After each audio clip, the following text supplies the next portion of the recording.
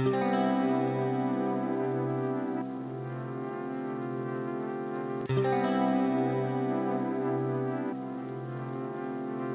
name is Mia Takekawa, and I am a, a, mentee in the Path to Park program this year, and I am a sophomore in bioengineering.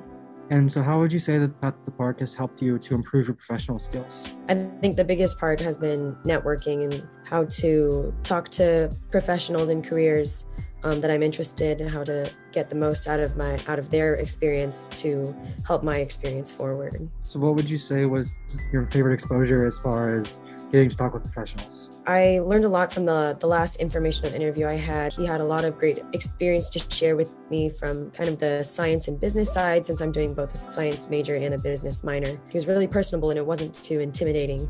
So it was really great to, to speak with him and get to learn kind of more of the entrepreneurship side of things. What was your favorite part about being in Path to the Park? I think being able to speak with you every week and to learn from all the experience that you've had and um, all the learning experience that you've had and, and, shared with me, I think has been really great. And to be able to to gain the connections that you've given me as well. Uh, so, like, what one thing that you've improved on over the course of the program are you most proud of?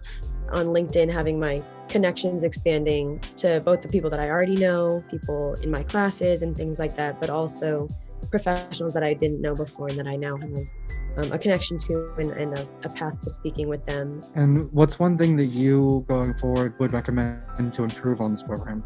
I think the only thing I would recommend would be maybe connections to the other mentees on my own. I think I connected with them on LinkedIn and stuff and saw them in other meetings, but um, I think being able to connect with the other mentees would have been great as well.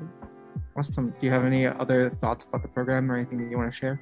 No, I didn't really have any expectations coming in. Didn't really know what to expect or what I would gain out of it. But I think I've gotten a lot more than I thought I would. And I think I've put a lot in, so I've gotten a lot more out of it. So yeah, it's been a really great experience. Just last question. If there was someone that was on the fence about applying to be a mentee for the program, what would you say to them? To just jump in because I didn't really know exactly what to expect. But I think that it's been really beneficial and I haven't had to do anything really super out of my comfort zone or um, above and beyond beyond what I already know how to do, using the skills that I already have and putting them towards productive progress for my career. And that's been really, really useful.